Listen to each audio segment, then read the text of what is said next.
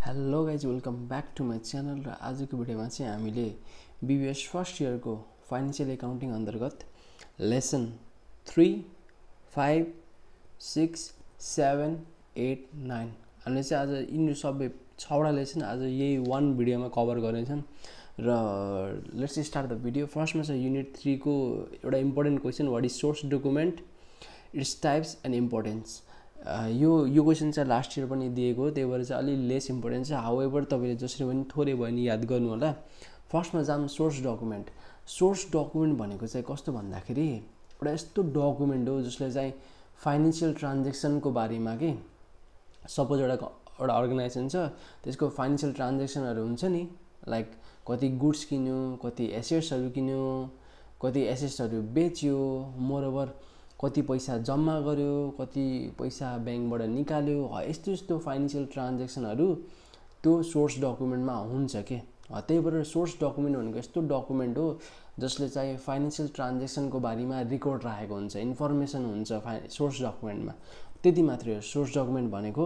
र सोर्स डकुमेन्टमा चाहिँ जेनरल्ली हुन्छ नि बायर अथवा सेलरको नाम नामहरू अनि कति एमाउन्ट छ मोरओभर प्लेसेसहरू कुन ठाउँबाट भएको यस्तो यस्तो सोर्स डकुमेन्टमा प्रेजेन्ट हुन्छ।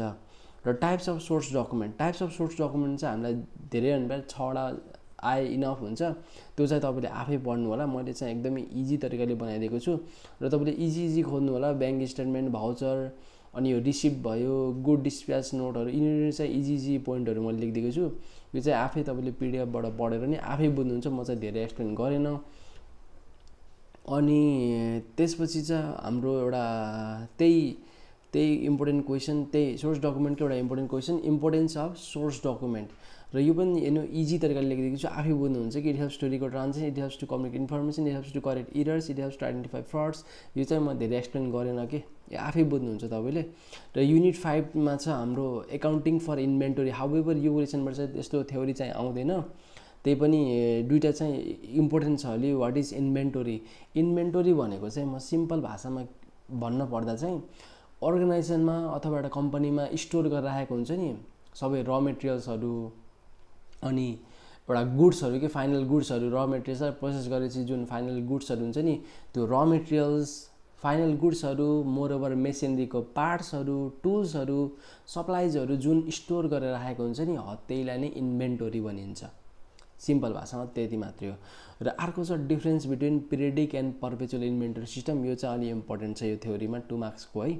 र फर्स्टमा जाऊँ पिरियडिक इन्भेन्टोरी सिस्टम है। मैले चाहिँ यो प्यारा प्याराग्राफ प्याराग्राफमा गराइदिन्छु। र नम्बर वान नम्बर टू पनि लेखिदिएको छु। अब तपाईँले डिफ्रेन्स दियो भने चाहिँ त्यही बक्सा बनाएर बिचबाट घेरा तानेर लेख्नुहुन्छ। अथवा राइट सर्ट नोट्सन भनेर नि आउँछ कि त्यही भएर मैले चाहिँ यसरी पोइन्टमा लेखिदिएको हो कि। र फर्स्टमा चाहिँ हाम्रो periodic inventory system periodic inventory system भनेको एउटा यस्तो इन्भेन्टोरी सिस्टम जहाँ चाहिँ इन्भेन्टोरीहरूको रेकर्ड त राख्छ तर कसरी राख्छ भन्दाखेरि एउटा पार्टिकुलर पिरियड अफ टाइममा के? आइदर इयरली वार्षिक राख्छ अथवा मन्थली महिनेवारी राख्छ। त्यस्तै राख्छ कि? पिरियडिक इन्भेन्टरी सिस्टममा एउटा particular period of time either yearly or monthly र के हुन्छ भन्दाखेरि पिरियडिक इन्भेन्टरी सिस्टममा इयरली र मन्थली राख्ने हुनाले चाहिँ there is chance of shortage of inventory के? इन्भेन्टोरीहरू हुन्छ नि हाम्रो र मेटेरियल्सहरू यिनीहरू चाहिँ कम हुने चान्स बढी हुन्छ कि? र नेक्स्टमा छ perpetual inventory system perpetual inventory system भनेको एउटा यस्तो इन्भेन्टरी सिस्टम जहाँ चाहिँ इन्भेन्टरीको रिकर्ड डेली राखिन्छ कि? हरेक दिन हरेक दिन राखिन्छ। त्यति मात्रै हो पर्पेचुअल इन्भेन्टरी सिस्टम। र हरेक दिन इन्भेन्टरीको कति गयो कति हुन्छ नि कति इन्भेन्टरी बेच्यो कति इन्भेन्टरी छ अर्गनाइजेसनमा भनेर डेली राख्यो भने चाहिँ सर्टेज भएन नि त। गुड्सहरू कम हुँदै हुन्न नि त र मेटेरियल्सहरू त कम हुँदै हुन्न नि त। त्यति मात्रै यसको डिफ्रेन्स बिट्विन र युनिट सिक्स अब युनिट सिक्समा छ हाम्रो accounting for cash and internal control योबाट नि हाम्रो जेनरली हाम्रो चाहिँ न्युमेरिकल पार्ट हो त्यो ब्याङ्क रिकन्सिलिएसनको हाउएभर यसमा चाहिँ तिनवटा रहेछ इम्पोर्टेन्ट अलि दुई मार्क्सको क्वेसन चाहिँ def define petty cash fund petty cash fund भनेको एउटा यस्तो क्यास फन्ड हो जुन चाहिँ होइन सानो सानो खर्चहरू पे गर्नलाई युज गरिन्छ क्या तपाईँले चाहिँ आफै इङ्ग्लिसमा पढ्नु म यस्तो सहिलो तरिकाले लेखिदिन्छु आफै बुझ्नुहुन्छ कि? Petty cash fund is a cash fund that is use to pay small amounts of bill. सानो सानो बिलहरूको खर्च पे गर्नलाई युज हुने क्यास फन्ड नै हाम्रो पिटी क्यास फन्ड हो कि? र सेकेन्डमा चाहिँ वा define cash equivalent cash equivalent भनेको एउटा यस्तो आइटमहरू जुन चाहिँ तिन महिनाको भित्र नि इजिली क्यासमा कन्भर्ट गर्न मिल्ने के? तिन महिनाको भित्र इजिली क्यासमा कन्भर्ट गर्न मिल्ने आइटमलाई नै क्यास इक्विभ्यालेन्ट भनिन्छ। र थर्डमा चाहिँ हाम्रो डिफाइन क्यास म्यानेजमेन्ट सिम्पल भाषामा क्यास म्यानेजमेन्ट भनेको जसरी क्यास इनफ्लो र क्यास आउटफ्लो एउटा म्यानेज गरिन्छ नि। त्यहीलाई नै हामीले क्यास म्यानेजमेन्ट भनिन्छ कि। Cash management simply means managing cash inflow and cash outflow त्यति मात्रै हो। Unit seven accounting for receivables first of all त रिसिभल्स भनेको चाहिँ के बुझौँ भने डिफाइन रिसिभल्सबाटै बुझिन्छ। रिसिभल्स भनेको सपोज अब एउटा मान्छेले चाहिँ एउटा मान्छेलाई सामान बेच्यो होइन? अब त्यो सामान बेचे बाबत त्यसले चाहिँ पैसा पाउनुपर्छ कि नै? त्यसले चाहिँ क्रेडिट उधारोमा बेचिदियो। ह जति पनि त्यो उधारोमा बेचेको रकम त्यसले पाउनुपर्छ नि। त्यहीलाई नै हामीले रिसिभल्स भनिन्छ कि पाउनु पर्ने रकम पाउन पर्ने रकम। त्यहीलाई नै हो रिसिभल्स भनेको र रिसिभल्स चाहिँ हाम्रो दुई टाइपको हुन्छ। Account receivables and note receivables. र यसको फेरि डिफ्रेन्स बिट्विन छ write the difference between accounts receivables and notes receivable जुन पाउन पर्ने रकम हुन्छ नि एकाउन्ट रिसिभल्स भनेको एउटा यस्तो पाउन पर्ने रकम जुन चाहिँ उधारो बेचिन्छ तर कसरी बेचिन्छ भन्दाखेरि एउटा भर्बल प्रमिस के मुखको बोलीमा उधारो दिइन्छ के? र जति पनि रकम पाउन परिन्छ नि पा पाइन्छ पाउन पर्ने हो नि त्यो रकमलाई नै हामीले एकाउन्ट रिसिभल्स भनिन्छ। र यो एकाउन्ट रिसिभल्सलाई जेनरली थर्टी टु सिक्सटी डेजमा हामीले कलेक्ट गरिसकिन्छ। त्यो रकम चाहिँ तिस दि तिस अथवा साठी दिनभित्र चाहिँ त्यो रकम आफैले कमाइहालिन्छ कि। र थर्डमा यसको डिफ्रेन्समा के छ देयर इज नो इन्ट्रेस्ट यसमा चाहिँ के हुन्छ भन्दाखेरि इन्ट्रेस्ट हुँदैन कि। जुनले जसले उधारो लिएको हुन्छ नि त्यसले चाहिँ इन्ट्रेस्ट दिँदैन। र अर्को छ note receivables note receivables just opposite हो कि उधारो दिने होइन अनि जुन पाउनु पर्ने रकम हुन्छ नि त्यो उधारो चाहिँ कस्तो बेसिसमा दिन्छ भने एउटा रिटर्न डकुमेन्ट के एउटा डकुमेन्ट बनाइन्छ र त्यहाँ लेखेर बल्ल उधारो दिइन्छ कि त्यहीलाई नै भनिन्छ हामीले नोट्स रिसेबल र नोट्स रिसेबल चाहिँ जेनरली हामीले सिक्सटी डेजमा सिक्सटी डेजभित्र के? सिक्सटी डेजभित्र त्यो कलेक्ट गरिसकिन्छ। र नोट रिसिभल्समा चाहिँ हाम्रो इन्ट्रेस्ट हुन्छ है। त्यो जसले उधारो लिएको हुन्छ नि त्यसले चाहिँ इन्ट्रेस्ट दिन्छ कि? र अर्को टर्म छ एउटा defined two by ten net thirty day net two by ten net thirty days भन्ने छ। र ए यो टर्म भन्नालेको कस्तो भन्दाखेरि सिम्पल भाषामा भन्नुपर्दाखेरि सपोज एउटा मान्छेले उधारो लियो अरे कि? उधारो लिएपछि त्यसलाई यो क्रेडिट टर्म दिइन्छ अरे कि two by ten thirty days दिइन्छ जसको मतलब चाहिँ के हो भन्दाखेरि यदि त्यसले त्यो उधारो लिएर त्यो रकम नि दस दिनभित्र त्यसले बुझाइदियो भने चाहिँ त्यसले टु माथिको टु छ नि टु पर्सेन्ट डिस्काउन्ट पाउँछ। यदि त्यसले दस दिनभन्दा माथि कटायो भने चाहिँ त्यसले तिस दिनभित्र चाहिँ त्यो सब जुन उधारो रकम उधारो सामान किनेर रकम दिने थियो नि त्यो तिस दिनभित्र त्यसले बुझाइहाल्न पर्छ कि। त्यही मात्रै हो यसको मतलब चाहिँ। र फोर्थमा चाहिँ हाम्रो what is interest bearing note and non interest bearing note interest bearing note भनेको चाहिँ कस्तो भने चाहिँ एउटा यस्तो नोट हो कि इन्ट्रेस्ट बियरिङ नोट भनेको एउटा यस्तो नोट हो जहाँ चाहिँ इन्ट्रेस्ट लेखिएको हुन्छ कि। इन्ट्रेस्ट इज क्लियरली स्टेटेड लेखिएको हुन्छ। अनि नन इन्ट्रेस्ट बियरिङ नोट भनेको चाहिँ यस्तो इन्ट्रेस्ट बियरिङ नोट जहाँ चाहिँ होइन इन्ट्रेस्ट लेखिएको हुन्न के। त्यहाँ कति पर्सेन्ट इन्ट्रेस्ट दिए दिने हो भनेर लेखिएको हुन्न। र इन्ट्रेस्ट बियरिङ नोटमा चाहिँ इन्ट्रेस्ट दिनैपर्छ इन्ट्रेस्ट लेखेको हुन्छ नि त त्यही भएर इन्ट्रेस्ट चाहिँ दिनैपर्छ जसले उधारो लिएको हुन्छ नि त्यसले चाहिँ इन्ट्रेस्ट दिनैपर्छ र यसलाई चाहिँ नन डिस्काउन्टेड नोट पनि भनिन्छ। र नन इन्ट्रेस्ट बेरिङ नोट भनेको मैले भनिसकेँ जहाँ चाहिँ इन्ट्रेस्ट लेखेको हुन्न। र बरोबर जसले चाहिँ उधारो लिएको हुन्छ नि त्यसले चाहिँ इन्ट्रेस्ट पनि दिँदैन के? र यसलाई चाहिँ also also call discounted discount discounted note तिनवटा पोइन्ट भयो तपाईँले डिफ्रेन्स बिट्विन आयो भने तिन तिनवटा गरेर छुट्टा छुट्टै बक्समा लेख्दा हुन्छ। युनिट एट युनिट एट छ हाम्रो accounting for current liabilities and consistency consi contingency फर्स्टमा छ define current liabilities current liabilities भनेको एउटा यस्तो ल्याबिलिटिज हो जुन चाहिँ होइन एक वर्षको टाइमको अवधिमा दिइहाल्नुपर्छ कि that is expected to be paid एक वर्षको अवधिमा समयको अवधि एक वर्षको समय अवधिमा चाहिँ दिइहाल्न पर्ने लियाबिलिटिजलाई नै हामीले करेन्ट लियाबिलिटिज भनिन्छ। करेन्ट लियाबिलिटीलाई चाहिँ हामीले सर्ट टर्म लियाबिलिटी पनि भनिन्छ र यसको इक्जाम्पल छ हाम्रो account payable short term notes payable etc यति मात्रै। र अर्को छ हाम्रो write down difference between accounts payable and notes payable र एकाउन्ट पेएबल भनेको चाहिँ मैले भनिसकेँ होइन त्यही एक वर्षको के अरे करेन्ट ल्याबिलिटिज भनेको मैले भनिसकेँ।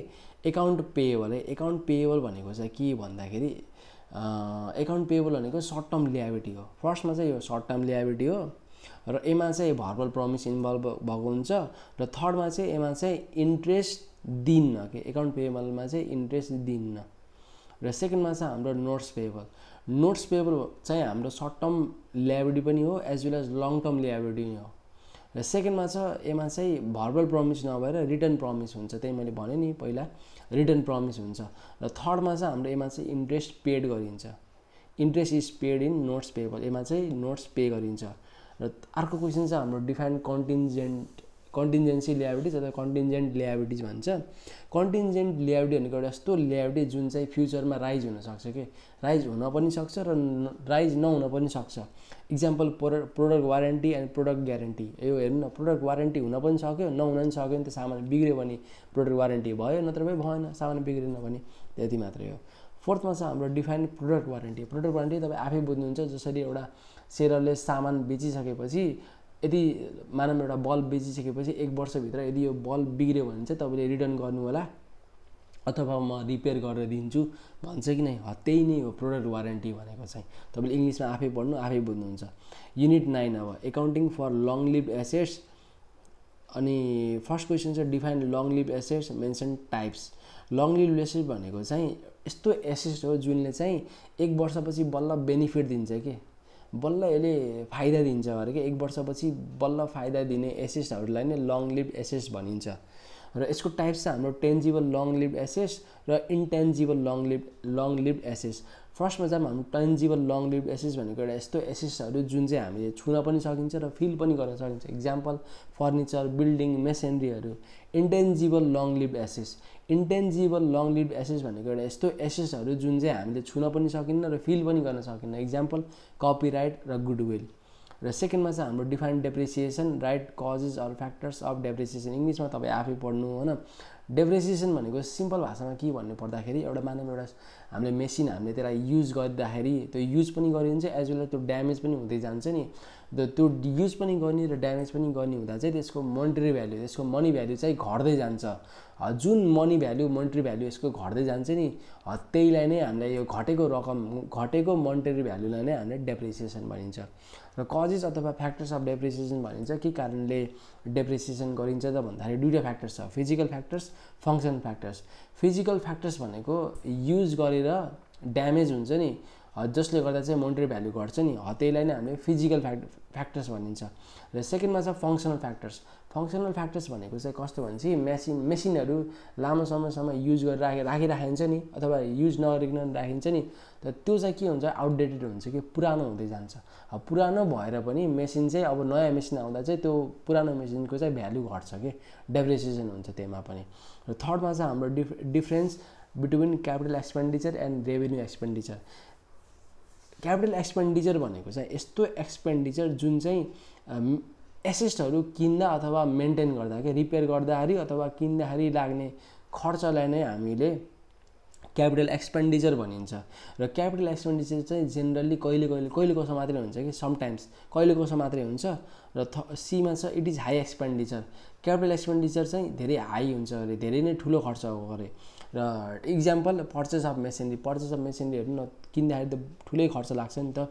र अर्को छ हाम्रो रेभेन्यू एक्सपेन्डिचर रेभेन्यू एक्सपेन्डिचर भनेको चाहिँ यस्तो एक्सपेन्डिचर जुन चाहिँ कन्ज्युमर आइटम्स अथवा गुड्सहरूमा लाग्ने खर्चलाई नै हामीले एक्सपेन्डिचर त्यस्तो एक्सपेन्डिचरलाई नै हामीले रेभेन्यू एक्सपेन्डिचर भनिन्छ। बिमा चाहिँ रेभेन्यू एक्सपेन्डिचर अकर्स डेली हेर्नु चाहिँ क्यापिटल एक्सपेन्डिचर अकर समटाइम्स भनेको चाहिँ चाहिँ डेली छ it is high expend high के अरे यो क्यापिटल एक्सपेन्डिचर हाई एक्सपेन्डिचर भने यो चाहिँ लो एक्सपेन्डिचर हो र डीमा छ पेन्टिङ इन वाल जुन चाहिँ एकदमै लो खर्च हो नि त जस्ट अपोजिट अपोजिट छ एन्सर चाहिँ मैले हेर्नु सकेसम्म मैले लास्टै इजिली डिफाइन गरिदिएको छु हावेभर म चाहिँ अलिक छिटो नै गर्छु मलाई थाहा किनभने we don't have enough time र तपाईँले टाइम पनि हेर्नु दुई बजेको छ म चाहिँ यो छिटो बनाउनु खोजेको र म छिटो भनौँ भनेर हो। एन्सर चाहिँ आफै पढ्नु तपाईँले आफै बुझ्नुहुन्छ कि मैले पिडिएफ फाइल सेयर गरिदिन्छु। Thank you